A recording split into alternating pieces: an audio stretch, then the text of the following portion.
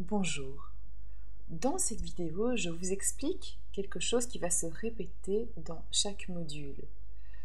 En chaque début de module, dans les deux ou trois premières leçons, je vais vous proposer une activité nommée Relax. Celle de cette semaine, par exemple, consiste à contempler.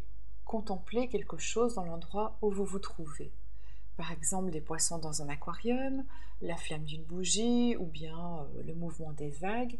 Tout cela évidemment évoluera suivant euh, le lieu que vous fréquentez. Mais l'idée est d'attirer votre attention sur quelque chose de précis et de prendre le temps d'observer. Ça, c'est pour cette semaine.